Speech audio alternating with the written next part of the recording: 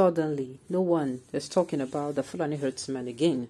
What has happened? Joe Igbokwe asked. Welcome to the news and thank you for tuning in to listen.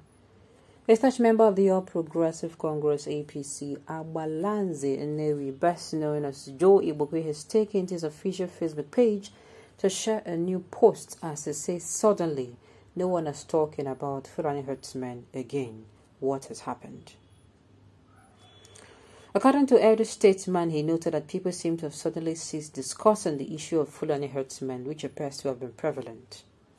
The special advisor to Governor Sanwo-Olu on Drainage and Water Resources, who seemed curious, however, asked what could have transpired, as he sarcastically asked again if they seem to have also gone into extinction. Looking at what he noted, he said or not be far from the truth. However, it seemed very obvious that the issue of insecurity caused by the armed appeared to be fizzing out while the for forthcoming presidential election and those who are contesting seem to be at the center of discussion. Secondly, Asiwaju Bola Tinubu is known to be one of those political gladiators who is running for the office of the president, and in my opinion, he seems to believe that his boss is now one of the most talked about aspirants, which may have prompted him to react the way he did. Joe Igbokwe post reads, Suddenly, no one is talking about the Fulani herdsmen again. What happened? They just disappeared into the thin air. Abi? What is your opinion concerning this? Well, in Nigeria here, we have this kind of a character, or will I say a behavior. We do this all the time and it is not right. What we do is we'll move quickly from one issue to another. Once upon a time, March 24th, if I'm not mistaken, was it March 28th, there was this Kaduna to Abuja train attacked by bandits. That thing was in the news for quite a very long time. People came out, people were angry, a lot of platforms carried it, and all of a sudden, all of a sudden, it fizzled out again. Nigerians are not discussing about anything in security. Even it's a shame that even as Nigerians are not complaining, the government also have just quieted down. Is it not a shame? There are two ways to look at this thing.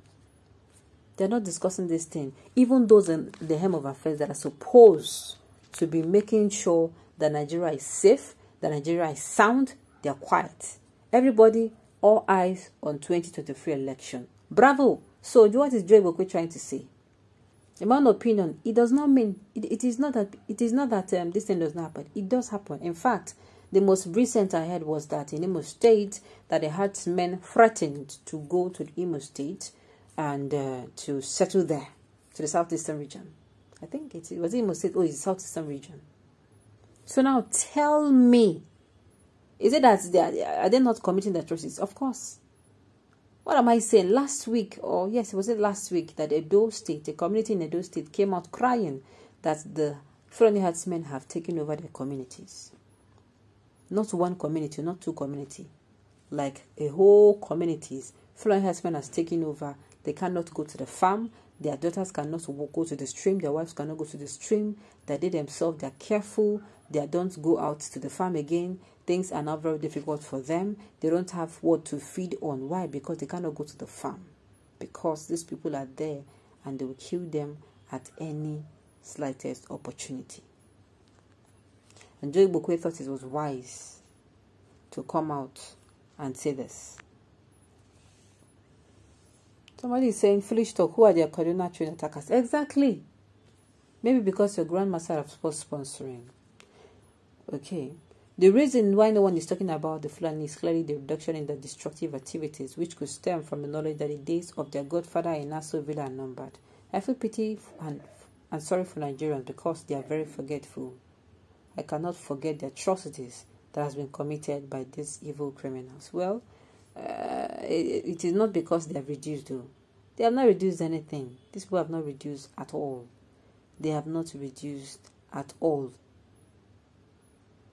They have not.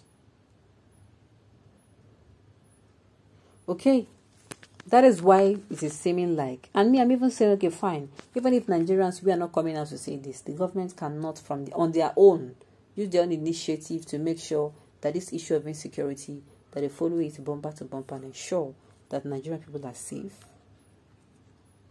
Because you want your principal to be president by fire by force. That is why you have closed your ears to all the killing in the country, either by Fulani herdsmen, bandits, or unknown gunmen, militants, kidnappers, etc. This is one of the best opinion ever. Yes. It is because you have decided to play deaf. You cannot say you are not hearing it now. There is these people, they are everywhere constituting nonsense. Of course they are. They are. Is this one a Nigerian living in Nigeria? This one is not current and far removed from the realities of Nigeria. The Fulani herdsmen have not ceased committing atrocities. The newspapers, radio, social media, etc. are all reporting it too. Exactly. He is the one that have chosen to fall deaf or claim dumb. He's just the one. He's only seeking for attention from the Fulanis, but suddenly forgot that Fulani man does not give a damn interest about others except his own. Okay? Posterity will be there as a judge in the fullness of time. You have not heard of the massacre in Benue and these states and Edo State last week. Exactly, that's what I was saying. I think people should ask you and your APC members where are the Fulani terrorists? Are you not among those who give others to pause them for a moment? So why is it that you and your APC members observe this with no without no one else is to observe their withdrawal? God will judge you and your cabals.